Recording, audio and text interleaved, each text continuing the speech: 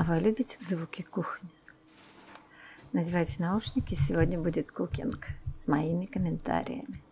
Итинг тоже будет, чтение ваших комментариев тоже будет. А пока наслаждайтесь звуками кухни. Сначала нужно удалить вот эту кочерышку. Обычно я варю такой вилок в большой кастрюле с водой а сейчас я решила попробовать сделать это в микроволновке.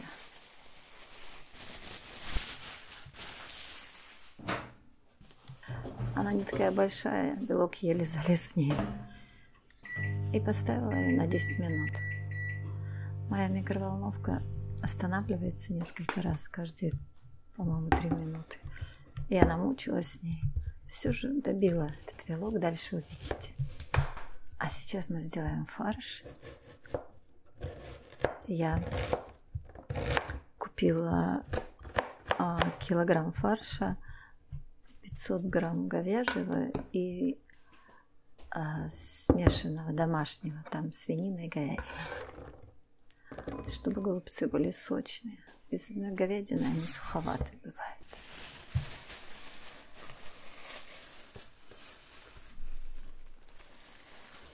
Вот это говяжий, а слева домашний с, с небольшим содержанием свинины.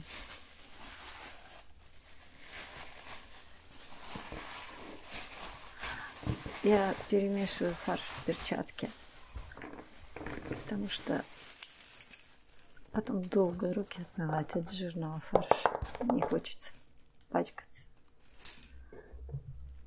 Фарш обычный мясо, лук, чеснок, соль, перец. Больше ничего. Ну, что... А, еще нужно отварить 150 грамм риса. И все тщательно перемешать. Рис не должен быть переваренным, но и сухим он тоже не должен быть. Если фарш такой плотный, можно немного добавить бульона или просто воды.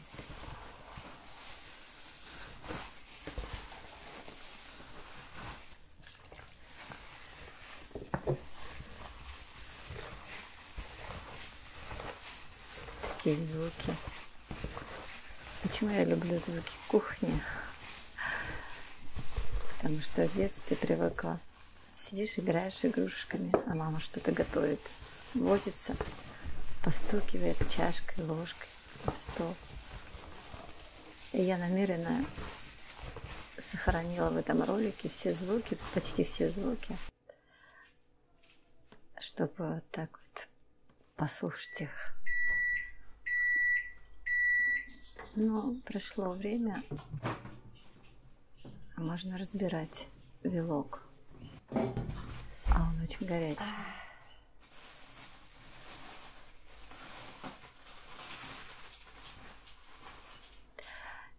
Я видела в интернете ролики, там люди говорят, что несколько способов. Можно вилок заморозить, можно сварить в кастрюле, можно в микроволновку засунуть. Но никто не показывает конкретно, как он, какой эффект, например, от микроволновки. Поэтому я решила подробно показать, как он разбирался. Вот э, первые два или три листочка отошли, а дальше вилочек не очень хорошо поддавался. Поэтому я решила, что нужно его еще подержать немного. Минуты три. В микроволновке. Да, это еще недостаточно. Тут надо приноровиться. А, вот так сильно нельзя раскручивать. Лучше вот с чуть-чуть поддавать вот так. И листочек тогда отходит.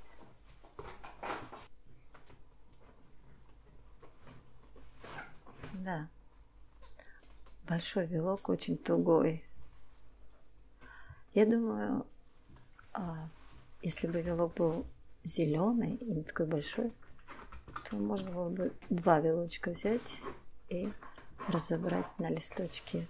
Было бы проще, чем такой тугой огромный вилок.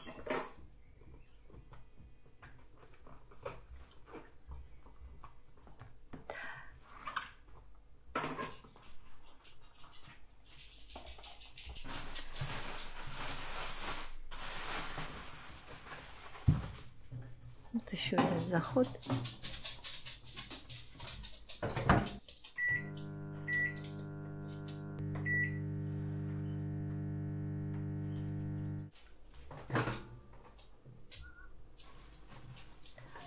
На этот раз, видимо, белок очень хорошо прогрелся изнутри.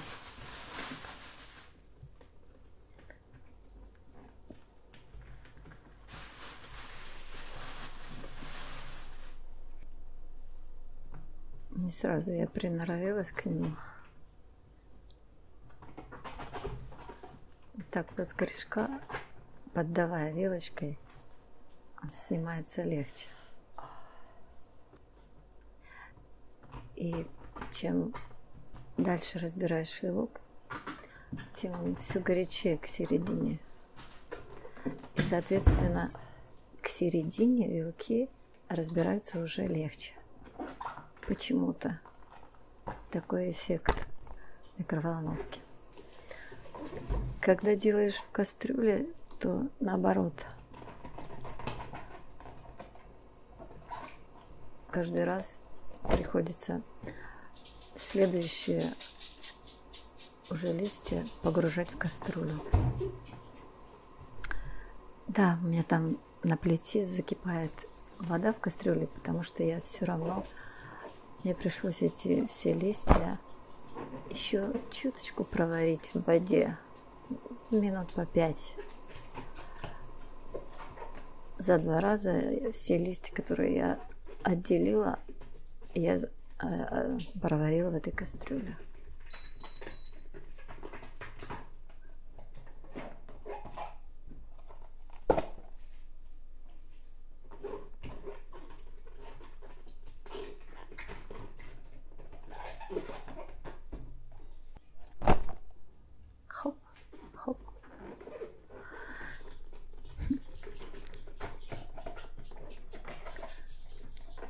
Самое сложное приготовление голубцов это как раз разделка капусты на листья. А вот видите, какие они тугие. Поэтому их придется еще отварить. Иначе они не согнутся.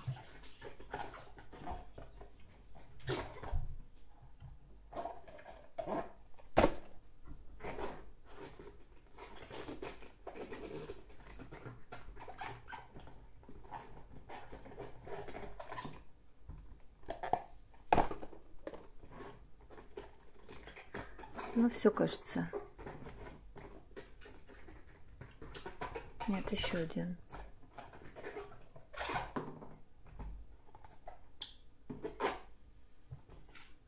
Вот это были крупные листья, а остальные уже идут средние, не очень большие.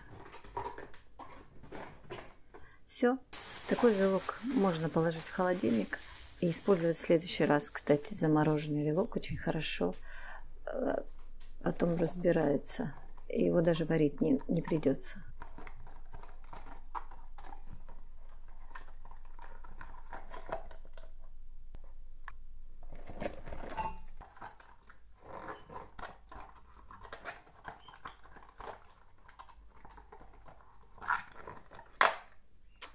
Вот видите, треснул поэтому надо варить.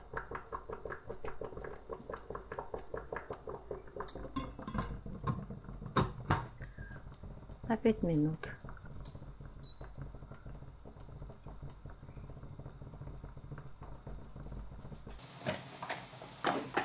Доставала горячее и прикрывала, чтобы они еще доходили. Все. А теперь будем делать голубцы. Это самое интересное. Вот такие большие листья я разрезаю пополам. Из них очень ровные, красивые получаются голубцы. Одинаковые, среднего размера. Черешки отрезаю грубые.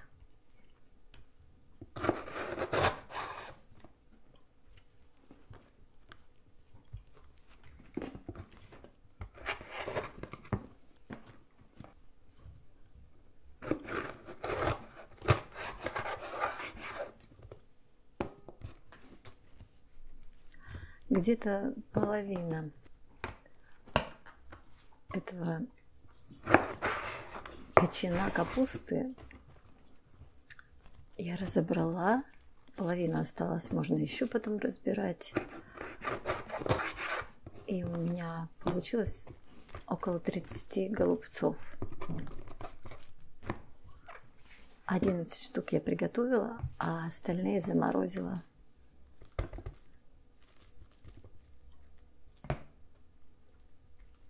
Очень легко. А так. Они красивые, ровные. И ничего из них не вываливается.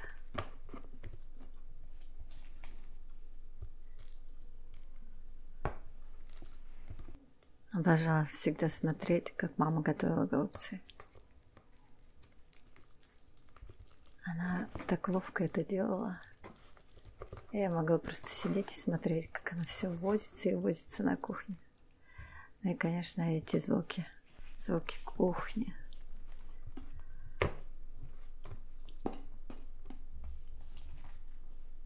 Только сейчас я узнал, что это, оказывается, АСМР звуки, которые способны расслаблять тебя. Включаешь такой ролик, ложишься, надеваешь наушники и расслабляешься, слушаешь звуки, вспоминаешь детство. Да? Да. Смотрите, какие красивые, ровненькие. Они не слишком толстенькие, чтобы приготовились быстрее. Я их в печке готовлю 30 минут. Нужно обязательно обжарить. По две минутки. А знаете для чего? Чтобы капуста стала сладковатой.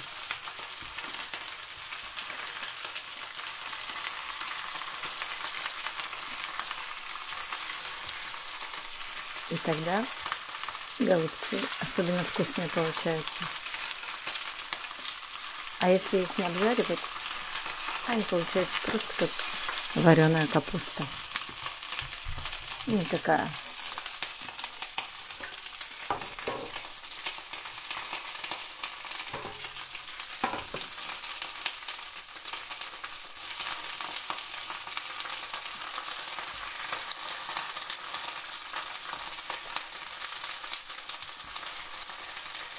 Ну вот пару сковородочек я обжарила.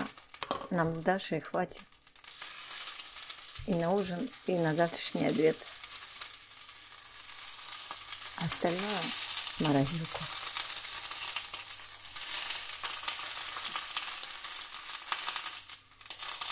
Я э, слепила где-то 28 голубцов. Я, у меня остались еще листья.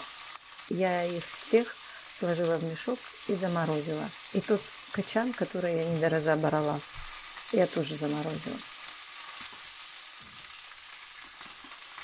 В следующий раз я просто возьму фарш и могу очень быстро сделать голубцы, потому что капуста у меня уже будет готова.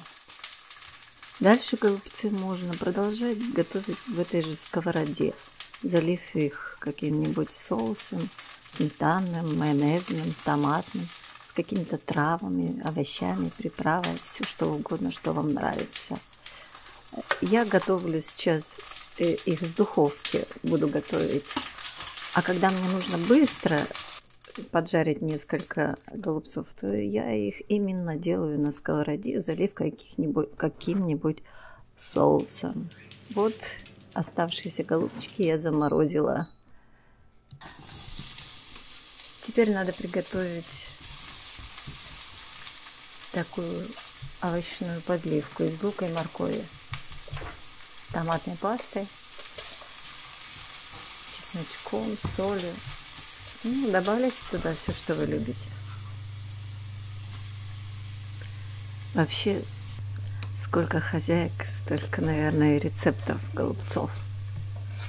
Каждая что-то привносит свое. Кто-то кладет вот в эту зажарку перец болгарский сладкий, а кто-то даже э, такую зажарку кладет в фарш для голубцов. Ну, я готовлю классический рецепт. Фарш должен быть сырой, с сырым луком для сочности. А подливкой служит вот эта овощная приправа. Ну, зелень, конечно, не обязательно убивать пережаркой, но для вкуса, когда у меня много зелени, я кладу и в, в эту зажарку, и потом свежую зелень посыпаю прямо на блюдо и приправляю его сметаной. Ну, сейчас печь 200 градусов Печка уже греется. 45 минут э, эти голубцы готовились у меня. Они не очень большие, не очень толстые, как вы видели. Поэтому за 45 минут как раз они хорошенько приготовятся. Кушать все это мы будем во второй части ролика. Я буду есть, разговаривать, болтать с вами. А потом мы попьем чай с мармеладками. И я продолжу читать ваши комментарии. Очень вкусно. Обожаю голубцы. Это мое самое любимое блюдо. Ну все. До встречи во второй части.